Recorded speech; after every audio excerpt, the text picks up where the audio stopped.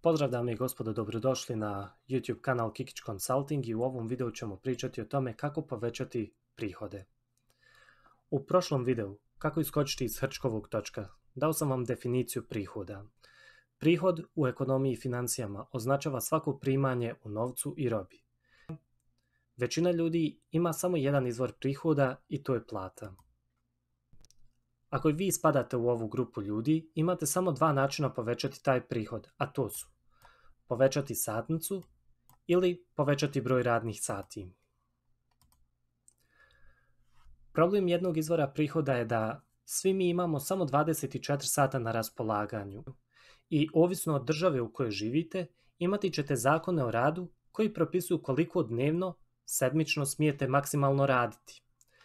Treći problem je vezan za države koje imaju progresivnu poreznu stopu. Što najjednostavnije možemo objasniti, što više zarađujete, više ćete poreza plaćati. Stopa poreza na dohodak u Njemačkoj kreće se od 0 do 45%. Sjetite se programiranja o kojem sam govorio u videu kako iskočiti iz hrčkovog točka. Naporno radite, penite se na ljestvici. No međutim da vas pitam, koliko osoba poznajete da jako puno i naporno rade, ali da nemaju mnogo novca? Imati samo jedan izvor prihoda je neodgovorno i opasno, jer ukoliko izgubite taj prihod, što je najčešće posao, kroz otkaz ili bolest, nećete imati nikakav priliv novca ili cash flow. Stoga je potrebno izgraditi više izvora prihoda. Ali zašto nas u školama nisu učili o ovome, dame i gospodo? Zamislite se poput pauka koji plete mrežu i svaka nova nit predstavlja dodatni prihod. Što više niti, to je jača mreža. Što više izvora prihoda, veća financijska sigurnost. Dodatni izvori prihoda mogu biti aktivni, pasivni ili kombinacija oba. I sada ću vam navesti nekoliko načina kako možete povećati vaše prihode od kojih sam koristio ili koristim većinu. Dodatni posao. Mač sa dvije oštrice. I smatram da je ovo najbolji privremeni način dodatne zarade kako biste izgradili dodatne prihode. Peer-to-peer -peer krediti. Zajmovi koje privatne osobe daju privatnim osobama ili preduzećima. Na mom YouTube kanalu imate videa o tome, ali ću u budućnosti napraviti poboljšane verzije istih. I to je jedan od načina da pustite vaš novac da radi za vas. Treće, kriptovalute. I ovo je moj konj za utrku. O kriptovalutama bismo mogli posvetiti cijeli serijal videa, ali ću ovdje navesti samo tri podkategorije. 1. Trgovna kriptovalutama. I ovdje razlikujemo trading, što bi predstavljalo kupovinu kriptovaluta i prodaj unutar jednog dana. Primjera radi, kupite kriptovalutu u vrijednosti od 100 dolara po cijeni od 1 dolara. Vrijednost te kriptovalute se poveća na tržištu za 1 do, sa 1 dolar na 1 dolar i 20.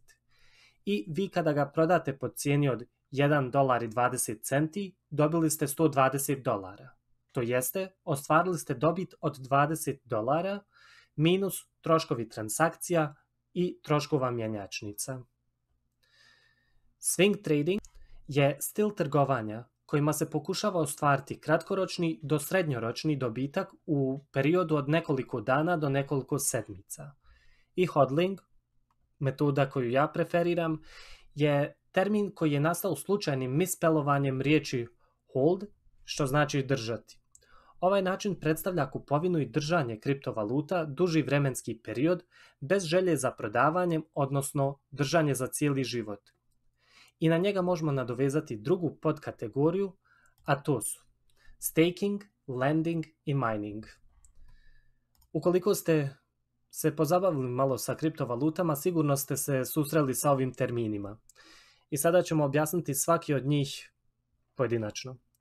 Staking ili proof of stake je mehanizam konsenzusa kriptovalute za obradu transakcija i stvaranje novih blokova u blockchainu. Znam da vam ovo ništa ne znači, ali Sada ću vam objasniti kako to funkcionira. Najjednostavnije objašnjeno, vi stekujete, odnosno oročavate vaše kriptovalute i time doprinosite sigurnosti sistema i bivate nagrađeni za to u vidu kriptovaluta proporcionalno vašem udjelu. To jeste, što više kriptovaluta stejkujete, više ćete biti nagrađeni. Lending, nešto što je slično peer-to-peer kreditima, samo što umjesto fiat novca imate kriptovalute. Lending ili kriptopozajmljivanje se odnosi na vrstu decentralizovanog financiranja koje omogućava investitorima da pozajmljuju svoje kriptovalute različitim zajmoprimcima. Imamo posljednji mining.